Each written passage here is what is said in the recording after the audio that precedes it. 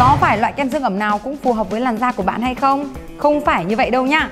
Và trong video ngày hôm nay, bác sẽ chia sẻ cho bạn tùy từng loại da khác nhau thì loại kem dưỡng ẩm phù hợp với làn da của bạn cũng khác nhau.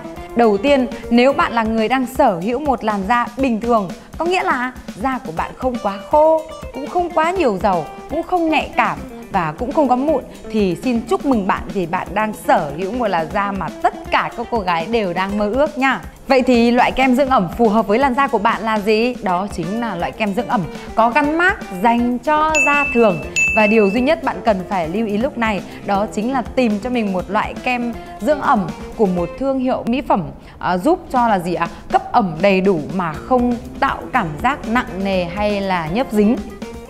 Nếu bạn đang có một làn da dầu thì sao? Đối với một làn da dầu thì thường là lỗ chân lông của chúng ta sẽ to hơn bình thường rất là nhiều Và điều này đối với việc làm sạch phải được thực hiện một cách đều đặn và kỹ càng hơn so với những người có làn da bình thường rất là nhiều nếu như bạn không muốn lỗ chân lông của mình ngày càng to lên thì bạn cần phải sử dụng các cái sản phẩm để điều tiết lượng bã nhờn trên da của mình. Vì vậy, một loại kem dưỡng ẩm lúc này cần thiết nhất cho làn da của chúng ta đó chính là kem dưỡng ẩm kiềm dầu. Nếu như bạn đang có một làn da khô thì chắc chắn bạn phải kết thân với các cái loại sữa rửa mặt tẩy da chết uh, để loại đi các cái lửa lấp sừng uh, ở trên da của chúng ta. Vậy thì đối với những người đang sở hữu làn da khô, kem dưỡng ẩm mà có chứa nhiều dầu là một trong những cái lựa chọn phù hợp nhất với bạn. Vậy thì những cái loại này nó có cái kết cấu đặc biệt hơn, giúp khóa ẩm tốt và sẽ giúp cho làn da của bạn trở nên mịn màng hơn. Vậy thì đối với những cô nàng có một làn da khô thì điều gì sẽ xảy ra? Đương nhiên là các cái triệu chứng như là ngứa, mẩn đỏ, bong chóc thành từng mảnh hoặc là da sần sùi thì sẽ thường xuyên xuất hiện đối với làn da này.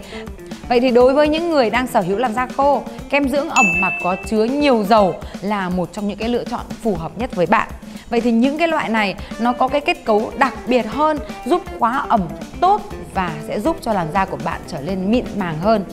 Nếu như bạn đang là một cô nàng sở hữu làn da hỗn hợp thì đây là một trường hợp uh, rất là khó trị. Bởi vì đối với làn da hỗn hợp thì vùng chữ T thì luôn luôn có rất là nhiều dầu. Và những vùng còn lại trên khuôn mặt thì da lại hết sức bình thường hoặc là khô. Và đặc biệt là mẩn đỏ và sần sùi.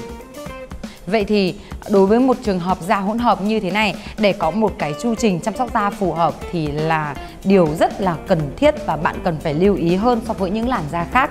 Vậy thì đối với trường học của bạn, bạn cần phải mua khá nhiều các cái loại kem dưỡng ẩm khác nhau để phù hợp với từng vùng da ở trên khuôn mặt của mình và bạn cần phải kiên trì với làn da của mình nhé. Cuối cùng, một cô nàng có làn da nhạy cảm thì sẽ như thế nào đây? Đúng như cái tên gọi của nó, da nhạy cảm, rất nhạy cảm và thường xuyên gặp phải các cái vấn đề như là mụn trứng cá và các cái loại dị ứng khác và các loại kích thích khi mà sử dụng các cái loại mỹ phẩm. Vậy thì đối với làn da này, việc lựa chọn sản phẩm dưỡng ẩm là thực sự cần thiết Trước hết, mình sẽ khuyên bạn nên tham khảo ý kiến của bác sĩ để có thể lên một cái phác đồ điều trị da tốt nhất cho bạn. Nếu như bạn tham khảo ý kiến của bác sĩ rồi thì chắc chắn bạn sẽ được khuyên là hãy sử dụng các cái loại kem dưỡng ẩm có các cái thành phần dành cho làn da nhạy cảm để phù hợp với làn da của bạn. Và thành phần đó chính là vitamin B5, HA hoặc là ceramide. Và bạn đừng thử nghiệm qua quá nhiều sản phẩm mà hãy tập trung thói quen nghiên cứu các cái nhãn hàng trước khi mua. Và nó phải đảm bảo rằng là bạn sẽ không bị dị ứng sau khi sử dụng sản phẩm.